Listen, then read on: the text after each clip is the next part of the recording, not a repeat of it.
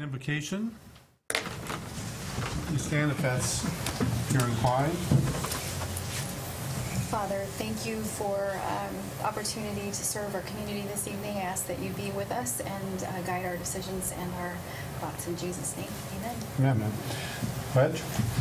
I pledge allegiance to the flag of the United States of America and to the republic for which it stands, one nation under God, indivisible, with liberty and justice for all.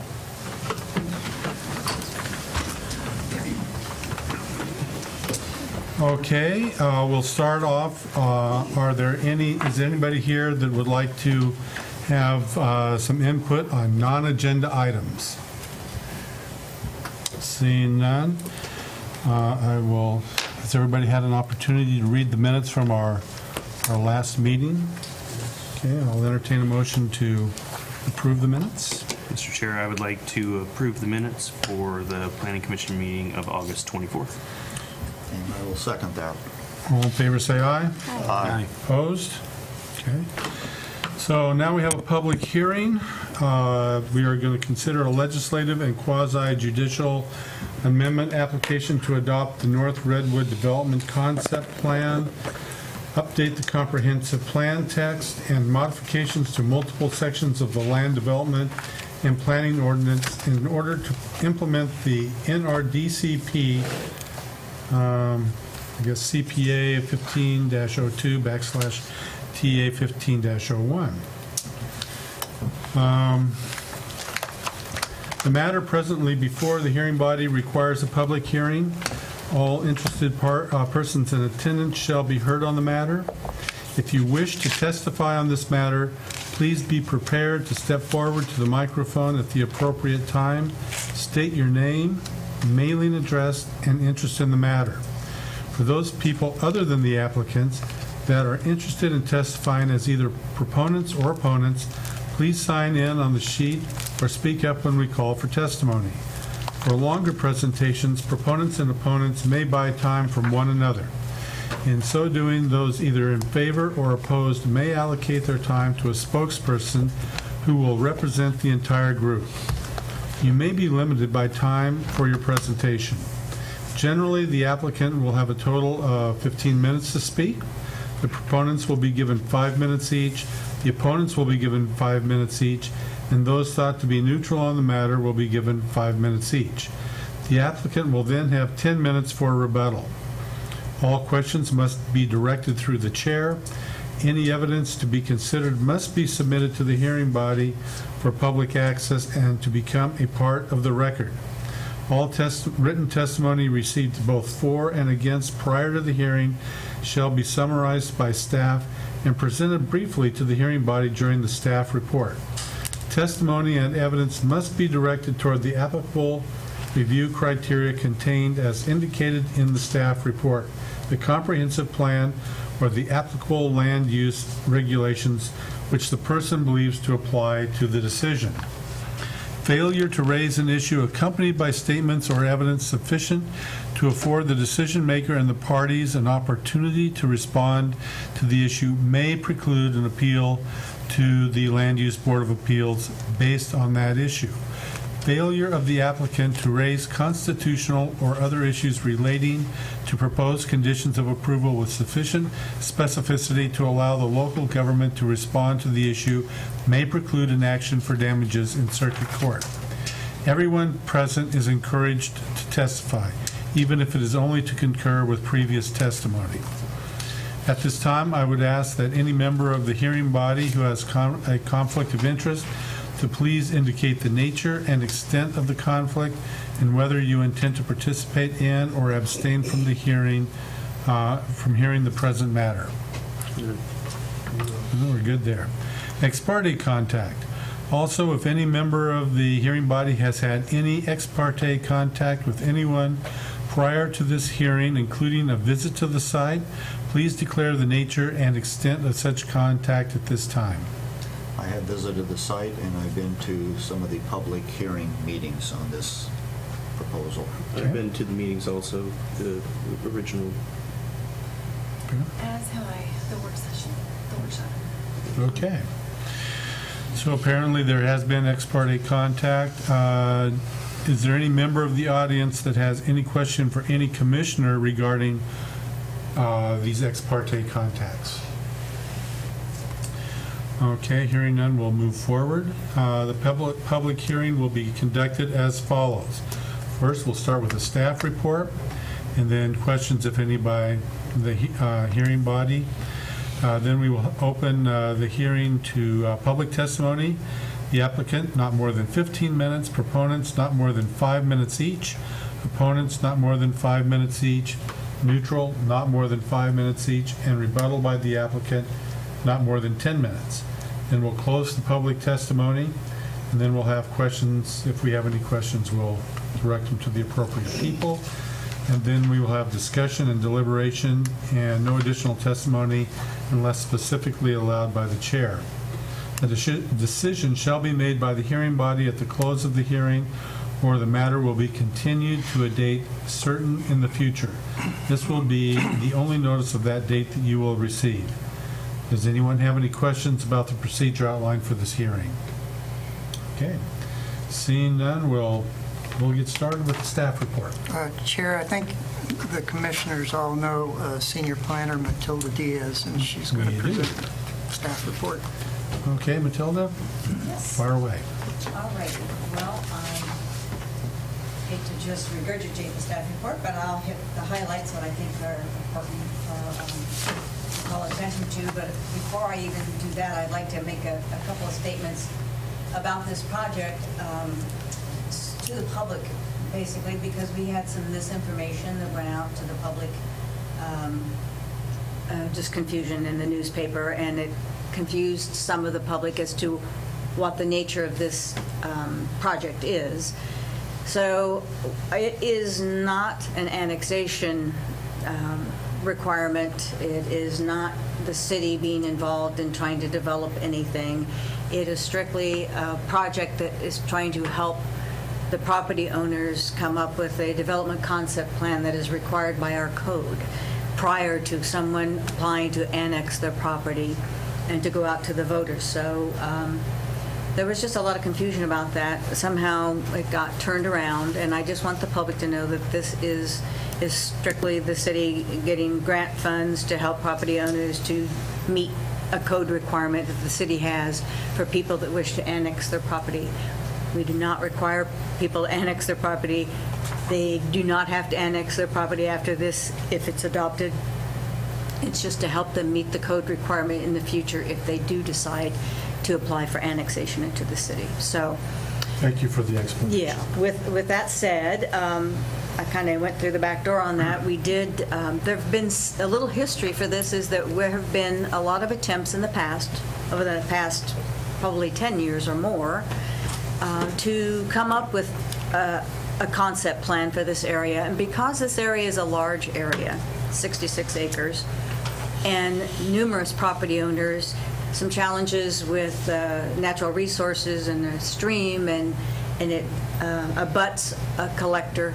It has been very difficult for both city staff and private property owners to actually get it together. So we, uh, fortunately, because it is close to 99, we were able to get some grant funds from a a state program, TGM program, which is Oregon Department of Transportation and the Department of Land Conservation and Development, in order to hire experts in the field to help us bring this forward. And so that's what we've done, and that's what this whole process started at back in, way back in November uh, 2014. Um, So the entire process has been to figure out the concept plan, work with property owners and stakeholders to get this done. Our consultants are here this evening to sort of give you the overview after the staff report of that project and, and present the actual draft plan. My staff report is to basically just say if, if it actually meets our code requirements for a comprehensive plan amendment and, and a text amendment. So that's what I'll focus on. And, and the new um, language in the code that we are proposing in order to implement the plan if adopted. And there's no code being eliminated. We're just adding sections of the code to make sure that, uh, that it's um, able to be implemented in the future. So that's kind of what it's about. So, as I said, it's about 66 acres um, split between low density, medium density, and high density, with only about two acres of high density and um, 19 acres of, of uh, medium and about 46 acres of, of uh, low density. We aren't proposing any sort of zone changes with this. We're staying with the comprehensive plan um, zoning on that, so if it, in the future, ever annexes into the city, the way it stands now, it's going to be the zoning that we already have in our comprehensive plan. So that is not a change that we're proposing as a comp plan amendment. So it stays the same zoning. Um, Consistency with our comprehensive plan basically uh, focuses on the environmental concerns element. Um, It, Willow Creek and the associated wetlands are going to be protected because they will be part of the city's park um, properties in the future. So the way we're addressing the environmental concerns of steep slopes and wetlands and, and the stream is that they'll be protected by the city. So that uh, outright protects that uh, element and meets our comprehensive plan goal. Uh, Land use element, uh, we're, in our comprehensive plan says to guide and develop um, the development and use of land so that they are orderly, efficient, and aesthetically pleasing and suitably related to one another. The entire purpose of this uh, development concept plan is to identify the infrastructure, the provision of infrastructure, storm, for the public infrastructure. So it's stormwater, uh, sewer, parks, transportation, so that we can provide uh, efficient and effective public uh, facilities and infrastructure for new development. In the past, that's sometimes a problem when there's ac- acres of land to be annexed. Some people annex over here, and then three years later, annex over here, and the roads never line up because we never have the big picture on how they need to be lining up to provide connectivity and to deal with stormwater in the most efficient way, or to make sure that they're entering onto collector streets correctly. So the whole goal of this is to provide for orderly and efficient development of land. So it very clearly addresses that, and incorporated into that is the transportation element, which I just pointed out, was that for circulation and to meet our code on collectors, on driveway spacing, and to provide a good quality of life for the people that would be future residents living in this area if it develops as a residential area. Uh, We want to make sure that it's walkable, it's safe for kids, and that things are lined up properly. Uh, So that has been uh, addressed as well.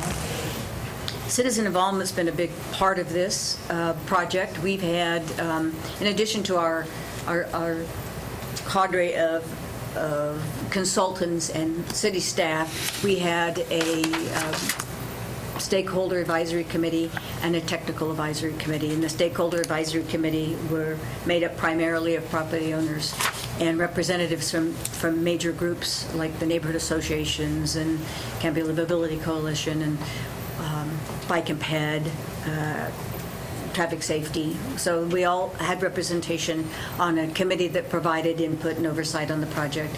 Plus, we had a technical advisory committee that um, met and reviewed, and that truly is what it sounds like. It's like um, people from engineering and the Department of Land Conservation and Development and the Division of uh, State Lands and a whole group of people that weighed in. The fire department was involved in this, uh, weighed in on their concerns to make sure that, that their concerns were addressed adequately in this plan. And we had several public meetings, um, and we had some public workshop, uh, and then we had stakeholder, um, property owner interviews, one-on-one interviews with, uh, how many did we, eight or 10? Eight to 10 individual property owners to get even more uh, input from property owners on their specific concerns that they might not be comfortable sharing in a bigger uh, venue. So there's been all along um, a pretty uh, significant uh, effort to get citizen input on this so that we address the major issues. So that we believe that, uh, staff believes that um, this plan is very consistent with our policies of our comprehensive plan. As far as a text amendment, it's um, very similar criteria. It's, um, one of the criteria is um, a public need for the change. Well, the public need here is that it's a requirement of our code to have a development concept plan in place for any area that's noted on our annexation development map, and this is one of those areas. So there is a public need for it in order to, for the, this area to be able to develop in the future. Um, so we feel like it has met that criteria as well. Uh, Whether it serves the public need uh, better than any other change which might be expected to be made, I'm not quite sure. Um, It's a code requirement, so in order to implement it, you have to do the, the code amendment, so I don't know what any other uh, alternative that would be. So by default, I think it uh, pretty much addresses that. Uh, Will preserve and protect the health, safety, and general welfare of the residents in the community. Definitely, it will serve the the people living in this area and people adjacent to this area by providing safe streets and providing uh, areas that stormwater is managed uh, properly and they don't have flooding in the future, and providing them some recreational areas. Um, I think it definitely uh, addresses that issue as well. When you deal with statewide planning goals, um, basically a repetition of what I just spoke. They have citizen involvement, which we've addressed, open space, scenic and historical areas, and natural resource protection. As I mentioned, uh, most of that is being incorporated into a city park, so the city will then be the steward of that property and will take care of it. That also goes for Goal 8, where you address the recreation needs of your community by extending a walking path through here and connecting uh, to an existing uh, park we have uh, north of this, and even further north, another park on- across territorial. We're building on the recreational um, opportunities in our community. So we believe that is met as well. Public facilities and services, we are, this is all about the public infrastructure and doing an effective and efficient provision of those services. And part of that is, once again, transportation, internal circulation, and also how it connects to the existing grid in the community so it, it it functions um, efficiently. So staff really does believe um, that the draft plan that you have before you addresses everything in our requirements for a comprehensive plan amendment and a text amendment. The text amendments, um, the code amendments that um, are attached to this staff report truly just implement the draft plan. We had to make a few um, uh, new provisions in our code. One of the provisions was uh, in our land use element of our comprehensive plan, um, was to make sure that we had a policy that addressed um, uh, the infrastructure for newly annexed areas. So policy number seven, we're proposing to add to our comprehensive plan, which basically is, Canby shall strive to ensure the efficient and effective provision of infrastructure to serve newly annexed areas.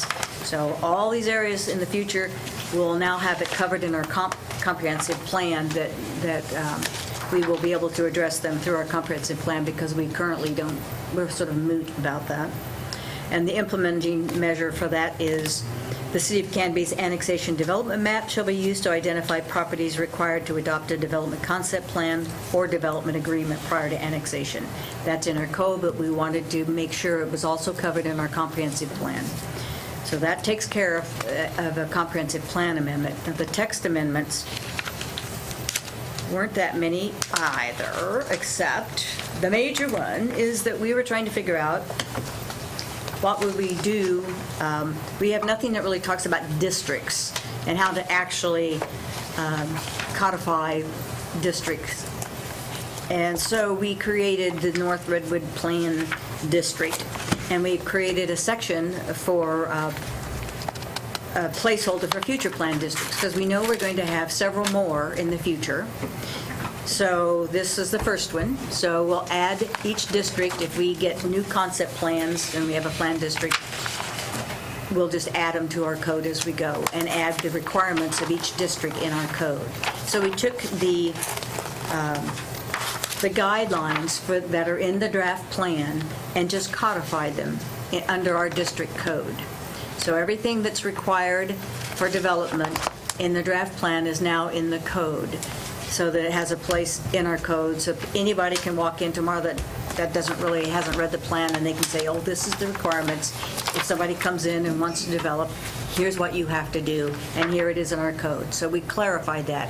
In the past, we've adopted some plans and districts, and we've never really had a placeholder for them. We just adopted them, and they sort of live outside, and we have found that that's sometimes problematic because I may know about it, or the person that worked on it before might know about it, but there might be new people that come on board and they know nothing about it. And it's very difficult to go back and try to dig back through the plan and say, what in the world are we supposed to be applying? So that's why we opted to, to formalize it a little better, to make it easier for when people come in, we can answer them, whoever's at the desk can answer their questions when they come in. So that's what the new district section is doing. Uh, We've made a um, couple of changes, additions to the uh, low-density and to the medium-density um, development standards by, and they're both, it's basically very similar. Um, The changes underlined in the low density, it says, for land in the North Redwood Development Concept Plan area, the commission may allow public parkland dedications to be included in the lot size averaging calculation in order to achieve community development goals and allow protection of natural resources. In this case, uh, the resulting average lot size shall not be less than 5,000 square feet. So what we wanted, the, the intent for that, to try to tell you why that's there, is we didn't want the lots to become really tiny, but we wanted the ability to say, if somebody, some of these properties, if you've looked at the map, some of the properties have a lot of park and creek on them, and some have nothing.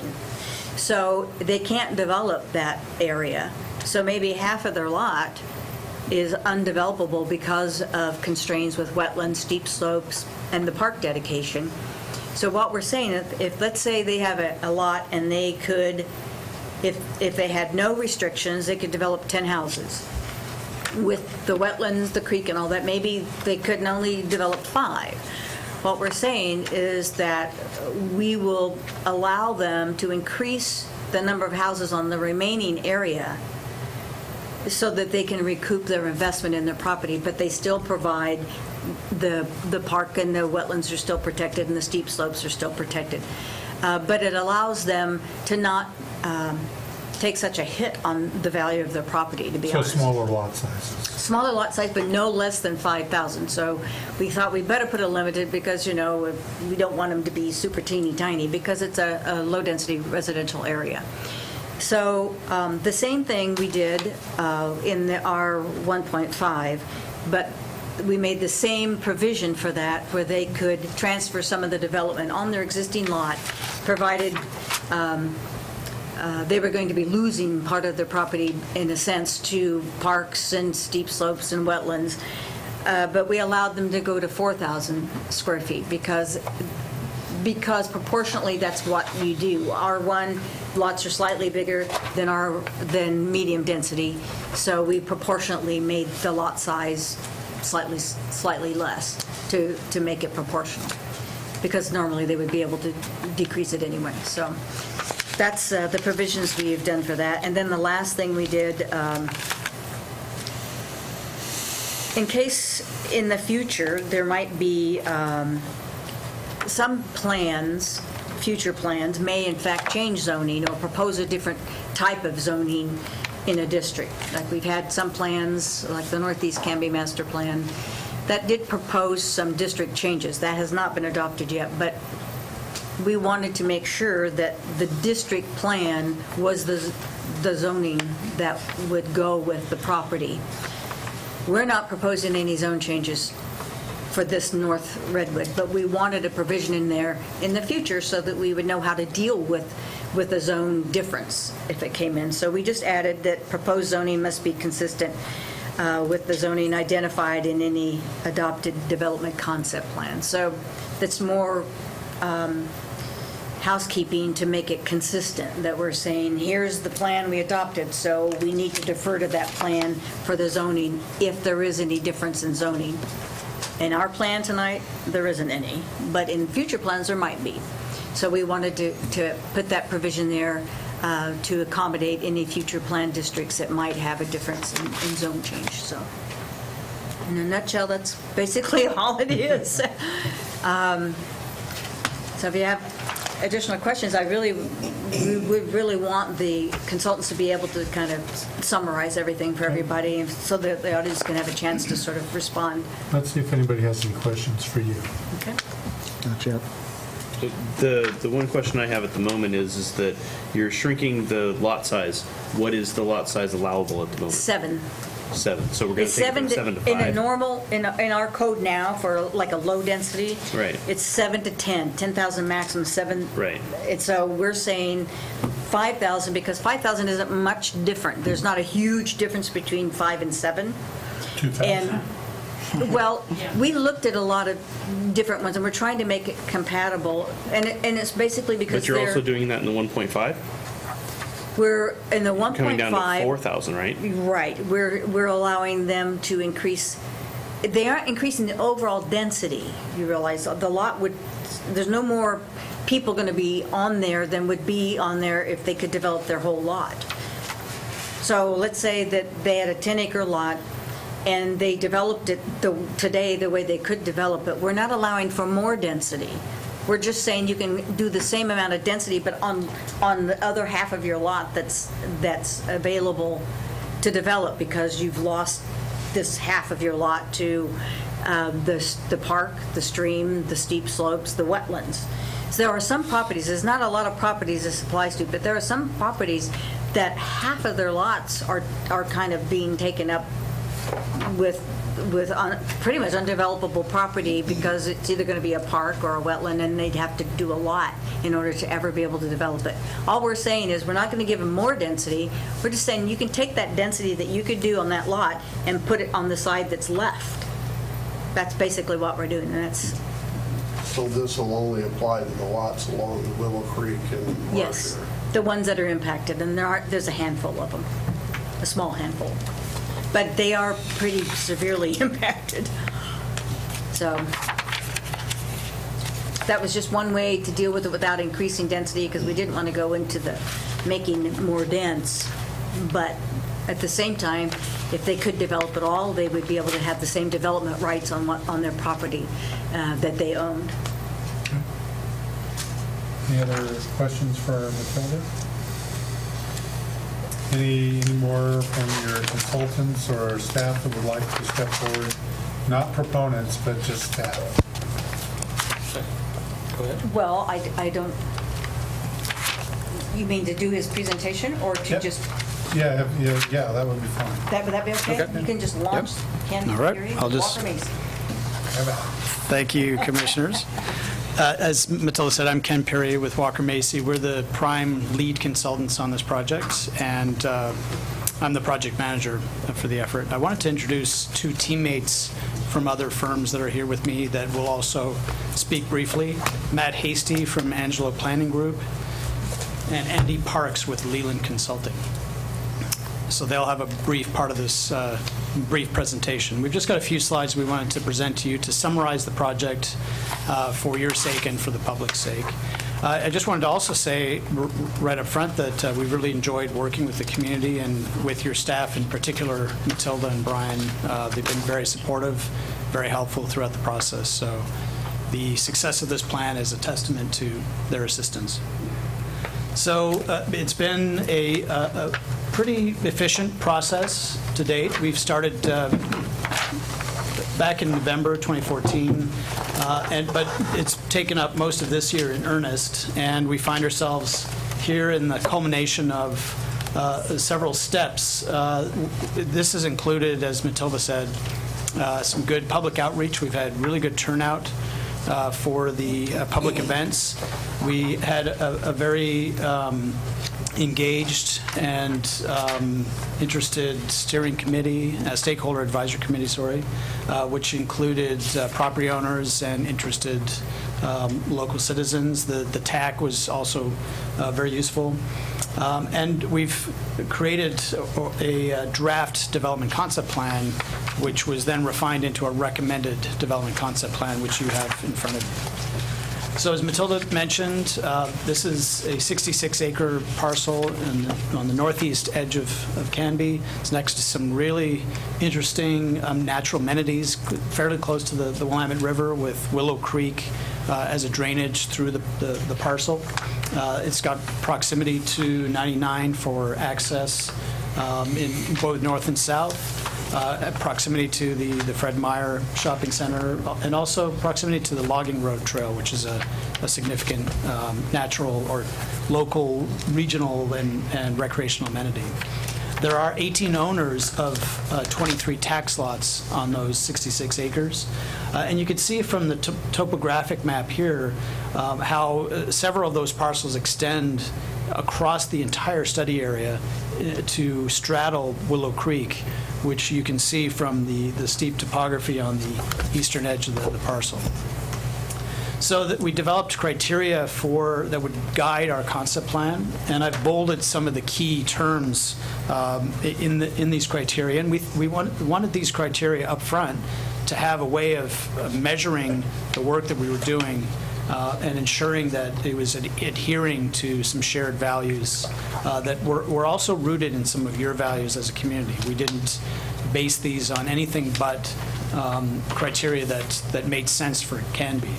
Um, So, for example, integrating the project with the existing city fabric, uh, making a walkable and cohesive neighborhood, understanding that this should be equitable for all the uh, individual parcel owners, and that costs should be reasonable um, for the variety of um, landowners.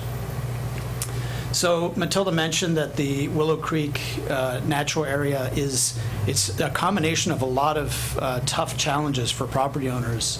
Uh, In the north end, you've got the the FEMA floodplain, which uh, takes up about 1.3 acres.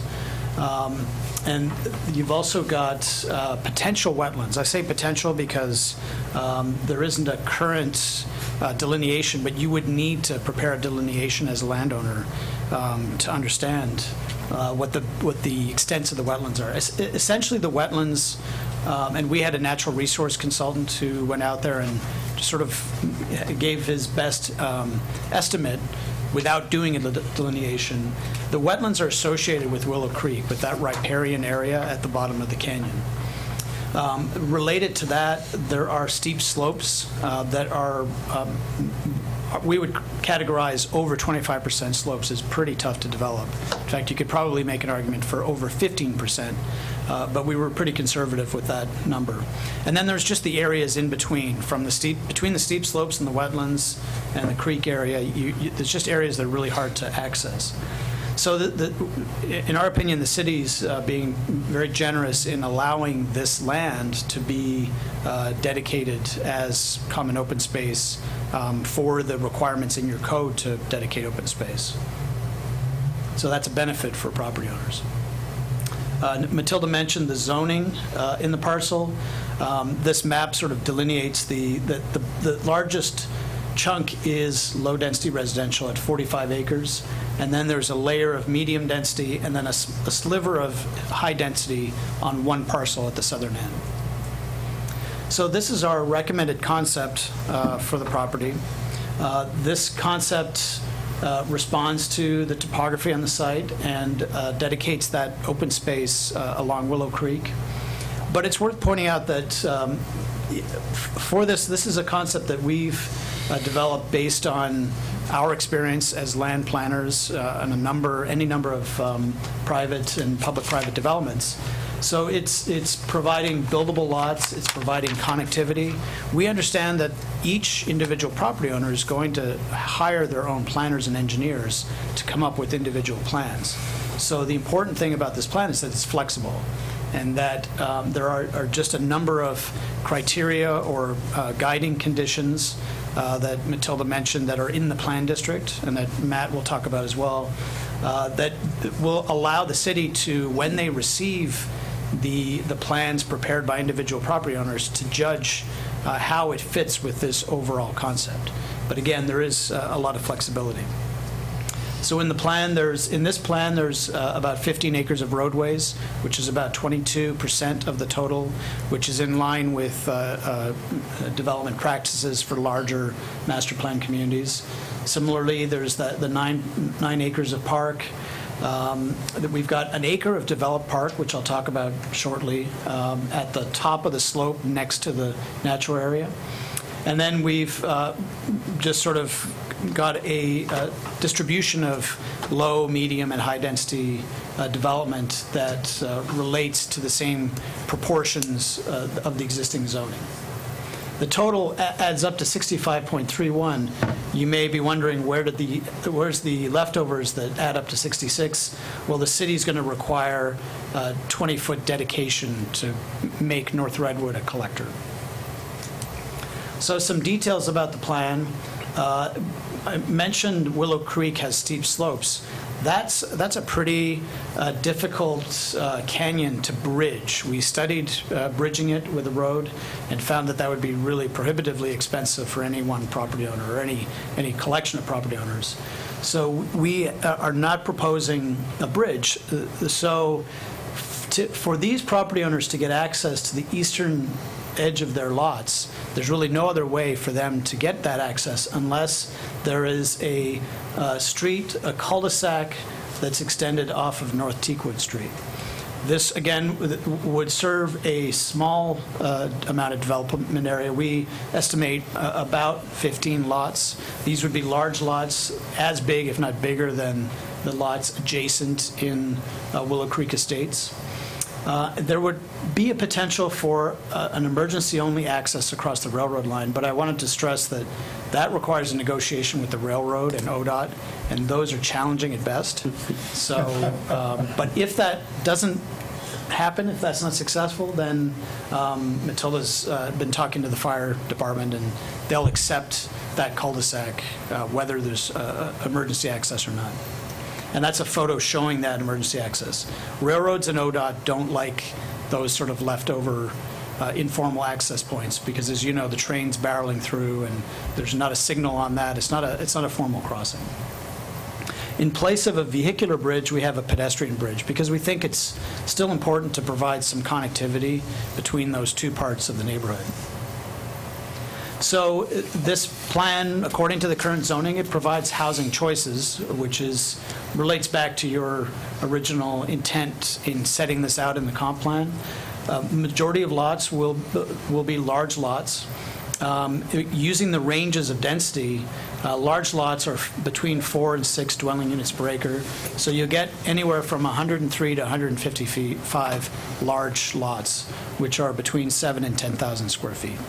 Uh, And that, according to our uh, consultants, Leland Consulting Group, that's right in line with where the market is um, for this kind of housing type uh, for the region.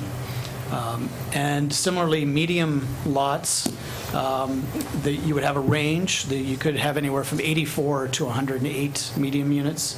And then we didn't, there isn't a range for the uh, high-density residential. That could be a variety of um, home types, townhouses, small apartments, um, but most likely it'll be duplex or small lot development, similar to what's south of the, that parcel. And you would get approximately 26 units yield on that acreage. The- We're showing a variety of um, access o- opportunities, too. You could have alley-loaded homes, um, or you could have front-loaded homes. It just depends on the builders. And we've tried to lay out our plan with flexibility t- for both those types. So I I mentioned we- we have a lot of experience um, creating th- these land plans, so I wanted to sort of go back and forth between the concept and, and test, does this actually work if, if a developer comes along to um, um, lay out these lots? So this is a, what what I would call a demonstration plan, and uh, it just sort of tests the, the densities. Um, So one key thing to point out is that this is, this is my take, that we won't be prescribing any lot layouts. Uh, This is all up to private property uh, owners. But this is just one example of how it could lay out. Uh, So, so the total I came up with was 237, which is just about halfway between the ranges. So that, this to me mean- pro- proves that it, it- it works according to this. So again, some highlights, we would want to include a pedestrian connection um, to access open space over to North Redwood. This sort of helps to break up larger blocks. I would also point out that although there's flexibility for front-loaded and and alley-loaded, you're going to have to have alley-loaded along North Redwood because North Redwood's a collector, and you don't want to have driveways and curb cuts onto a collector. I'll mention that, I'll talk about the park uh, later, but the, the bright green is showing um, this concept for a developed park, which would be um, an area with sort of a trailhead, maybe a play area, uh, a a more usable space at the top of the slope um, that people could enjoy, um, and it's publicly accessible and it's publicly visible as opposed to, say, a natural area that's wooded and maybe a little less easy for um, people to use, for families to get down to. And then this completes the, that, that testing of the concept plan. So in terms of transportation, um, this, we also had a transportation consultant on our team, and that consultant actually created your TSP. And there is a change to the TSP that's going along with this plan, which is to remove um, what was the auto road overpass, which was not feasible, to cross 99 and the railroad and Willow Creek. Um, And it, it's not needed uh, for, for the success of this community either. So this is an, this is showing an updated diagram, um, which is one of several that will go into your and it will, will, reflect that update. Uh, th- This, this TSP is also reflecting um, several points of connection to the existing street grid across North Redwood, uh, which reflects our concept plan. Again, there'll be somewhat flexi- flexibility with those connections, but the key point is those connections have to happen at an intersection, um, an existing intersection for safety. Uh, We have uh, followed your TSP standards uh, for streets. We're not creating any new street standards. Um, These uh, have been tested, they're safe, they're cost-effective streets. Um, One thing to point out that we would encourage is that um, although there is a range for planting strips, we would highly encourage for livability and um, for home values to encourage having planter strips with street trees to create the canopy over the street. So the, most of the streets will be neighborhood routes and the standard local street. So in terms of our layout, there is a hierarchy of, street types. The collector, as I mentioned, on North Redwood, and then a neighborhood route which acts as a circulator and connects North Redwood in a loop and also provides access to that Willow Creek Park to provide that, uh, to, to allow other people, uh, other members of the public to uh, get to that park. As I mentioned, though, most of the streets are these local streets, which again will be flexible and um, uh, there will be some negotiation between the city and property owners when they create their, their own plans. The, the, the parks that I mentioned, uh, that developed park um, at the, at the top of the slope would have features similar to this, a play area, maybe a picnic shelter, a trailhead to, to access the trail. The trail, the, the specifics of the trail design will be figured out at a later stage by the city, so we haven't, we're not really committing to what, what kind of trail this is or the design. It's going to be about a half mile long, and um, it it provides some really good connectivity and access to Willow Creek. And it's also worth pointing out that the- you've got Logging Road Trail. That's a different kind of trail. That's more of a city connection. It gets people to different destinations. This trail is more about the residents and giving them sort of a connection to nature. Can I interrupt you for just a second? Um, On Willow Creek, what is the slope from where the park is going to be down into Willow Creek? And uh, so that's just one, one question. The other question would be, who's going to maintain the park? Who's responsible for maintaining the park and the pedestrian bridge? And then three, who is, what, if you're going to have kids playing in there, if the s- stope, slope is steep, what kind of safety features are you uh, going to be implementing to make sure that, you know, kids don't fall down the slope and, you know, fall into the creek? And, I- and the fourth, final thing is, is that, uh, is, is Willow Creek, because I haven't you know, I'm not supposed to go there and look. Is that a year-round creek? Is it a free-flowing creek? Is it got covered with underbrush? What's it? It's spring fed and Okay. it's, it's year round, but it's, um, it's fish bearing, but not, doesn't have uh, some on it at the moment. So it doesn't have any fish that's protected by the Endangered Species Act because we, we work with Fish and Wildlife on that to make sure what's in there. Um, And also, we did originally do a a delineation, I just want to, it's just outdated, but nothing much has changed. That's where all those, that's why we know a lot of the stuff that's there, and we have them double check that.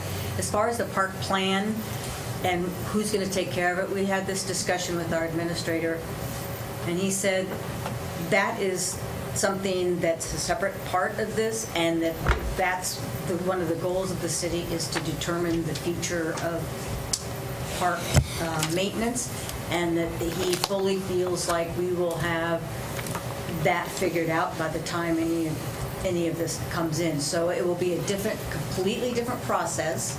It's like we do, uh, we have a lot of land now that's not developed that's park land.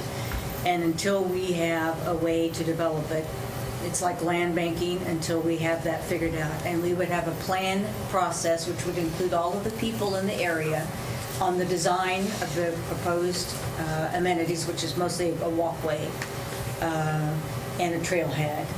We would, we would do a design process, which is what we do for pretty much every park that we do, which will include the neighbors, and at that time, we figure out how, what is the vehicle that is going to be taking care of it, whether we go out for Wilderness International, or whether we do uh, an agreement with the homeowners, or whatever it's going to be, that is figured out at the time when we design the actual park itself. So the park, the park, I hate harp on the park, but, so, um, As far as steepness, I can't answer that. Do we know that? I'm sorry, It- I it- left off your question about The that. steepness varies, uh, the the elevation drop varies. Uh, There there are 25% and over slopes in there. There's some pretty steep Pretty steep. areas.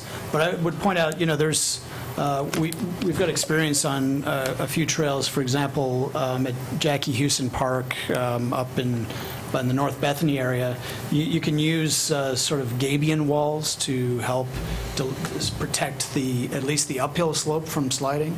And you can use, you know, railings and low fences too to help to provide guidance to people that, to stay off the steep slopes. Um, We have that in Community Park, the the Gabions, they just, the Wilderness International has been installing those as a way to approach our pond there as well. so I, I guess, sticking with the park for just a minute, how you're gonna fund upkeep maintenance for that. Um, I don't, I don't think there's a whole bunch of money in the budget for maintaining parks Nope. as is.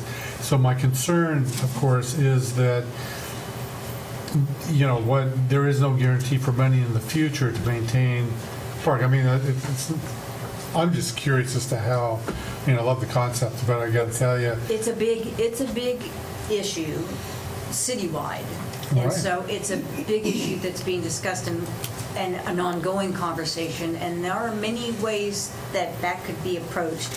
They, the, the council and the administrator haven't brought anything forward yet, but there's a lot of options. We just haven't decided on uh, which ones to bring forward yet. But there's a lot of analysis and a lot of exploration on how we're going to resolve it. It has to be resolved because the city of Canby collects money for parks, so we can construct them. So we need to be able to figure out which mechanism, whether it's going to be a public-private partnership, whether it's going to be uh, a different SDC uh, reimbursement fees, whether it's going to be a park maintenance fee. They're all on the table, they're all being reviewed, and, and it will be figured out, because we have to figure them out on every single park here. So, and as part of the, the process for developing the concept for this particular piece of park, that will be put in place, the maintenance piece of that will be put in place when we do that plan. So we've had a lot of discussion about this, and there are several other parks that are under the same um, cloud, so to speak, of how we're going to move that forward. But there is, no doubt that we're going to move it forward. We just haven't quite figured out the best way to move it forward. It might be several different combinations of ways to finance them. We may be entering in public-private, we may be doing maintenance fees, we may be, I, you know, I- budgetary items, we may, I'm not sure, maybe more volunteerism, which we, we're not sure what we're going to do, but it's, there may be more than one way to skin the cat.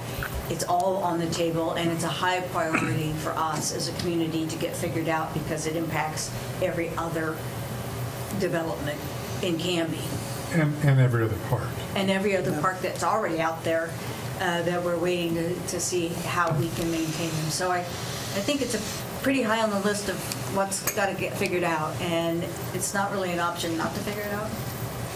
We're gonna have to figure it out, and I can tell you it's, it, there's a lot of work being done around that issue to get the best solution that will work for Canby, and we're even working with the Park District on, on that issue, so. Okay. So I know that's a really long-winded, crazy a- a- No, answer. It's just actually, that that's there is no exactly the Black and answer. white answer yet, but I guarantee you, it's in the hopper and it's being really, really worked on. Sorry to interrupt. and- Not at all, not at all. So uh, just to pivot to uh, the utility uh, matters, we have another uh, team member, Otak, who are civil engineers and have worked on a lot of uh, private development. So they studied the, how the concept plan uh, could meet the provision of basic utilities for the project. They found that there is a, there's a 12-inch water line under Redwood. That's plenty of capacity to serve this new development. Uh, The one criteria they mentioned that they would uh, it- need to see are at least two of these three connections that are shown on North Redwood um, would be needed to create a loop for water pressure purposes. Uh, But otherwise, water service is, is set. Sewer service similarly has capacity under North Redwood. Uh, The only area that might uh, uh, have issues if the owners of this property were to maximize the developable area as, as shown and bring a cul-de-sac down into this uh, lower area, you would need a, a small pump station to get the waste up to an area where it could feed by gravity uh, to North, to North Redwood. Um, But again, it's mainly gravity fed towards North Redwood.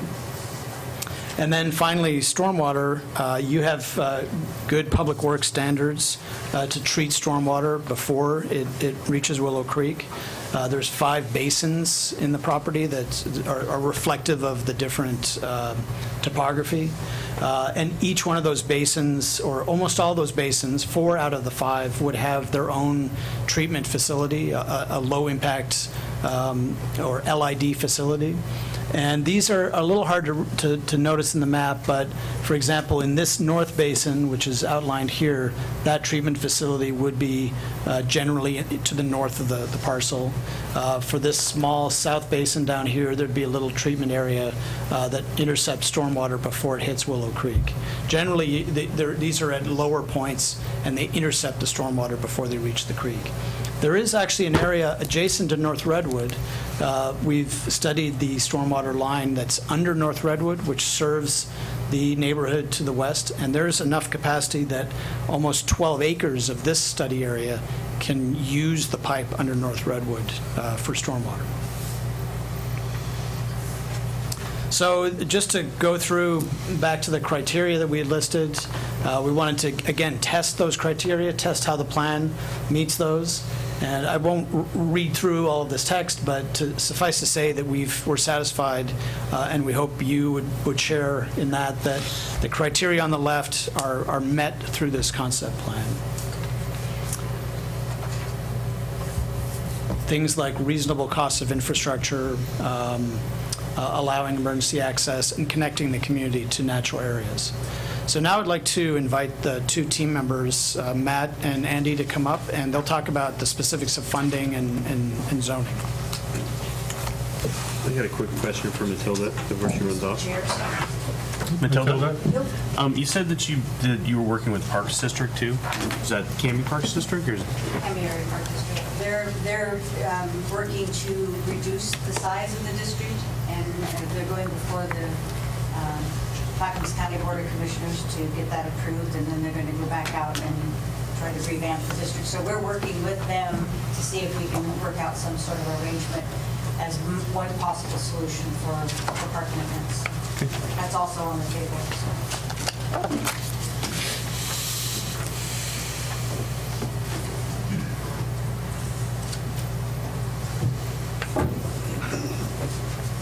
Uh, Good evening, uh, Chairman and uh, Commissioners, and uh, nice to see you again, Brian.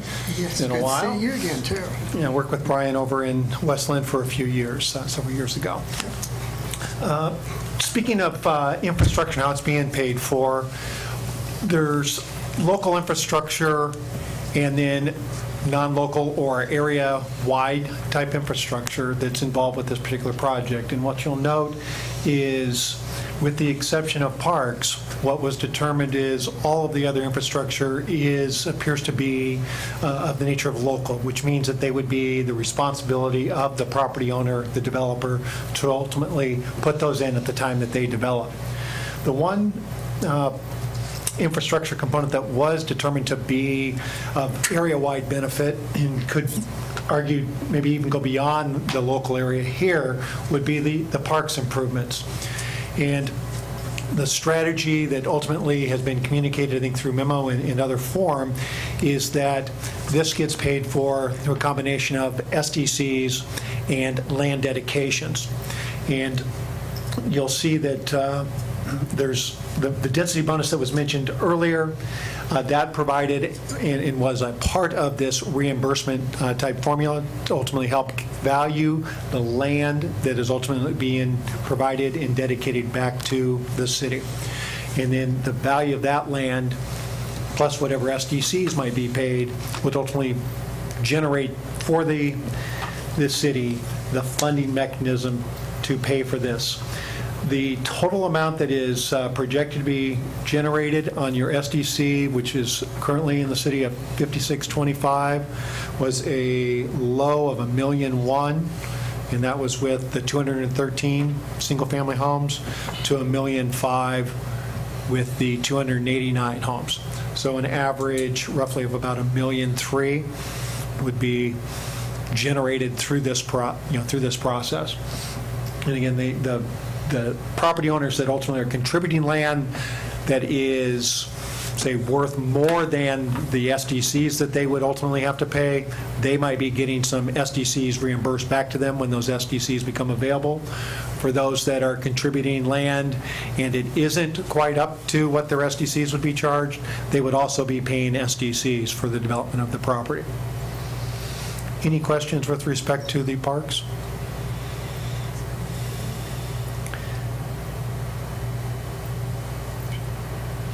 Yeah, there is one.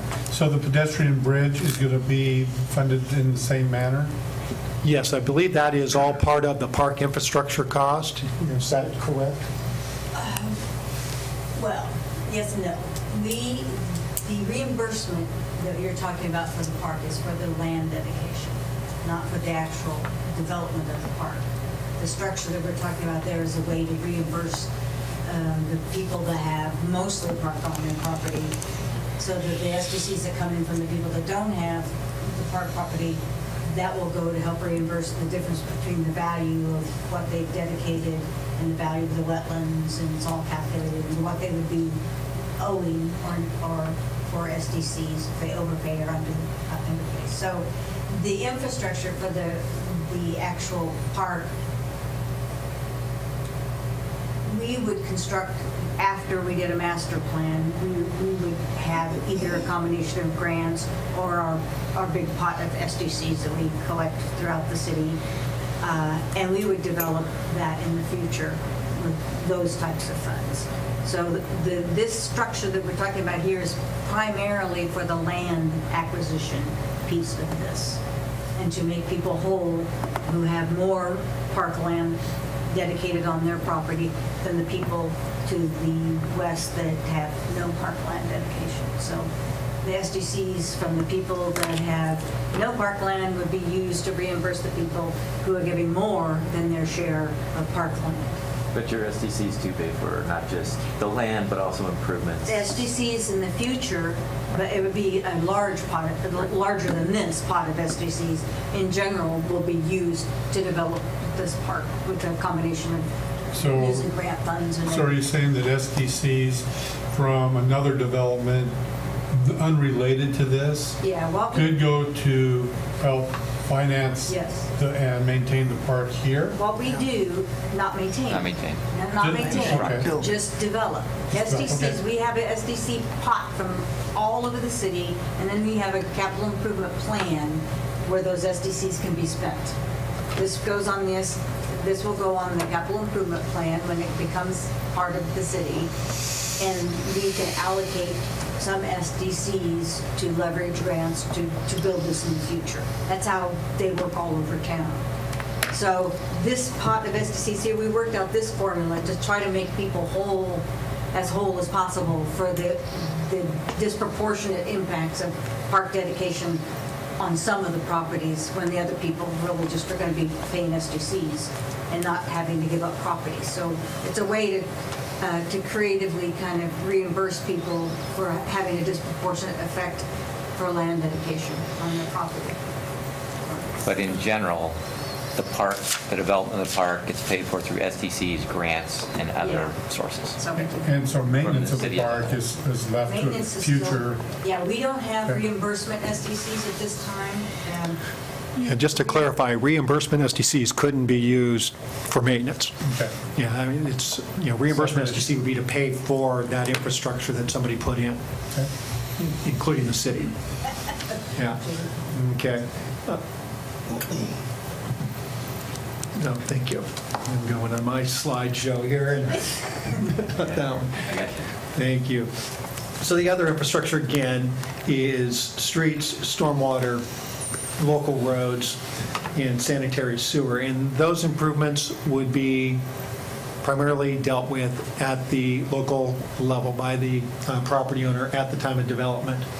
Uh, There is some uh, recommendations related to the potential use of reimbursement districts where uh, a developer gets in ahead of others and ultimately builds the infrastructure. That's addressed within the concept documents. Uh, The uh, other thing that may happen in here is you- you try and adjust those property, uh, or excuse me, the the infrastructure that's going on so that it is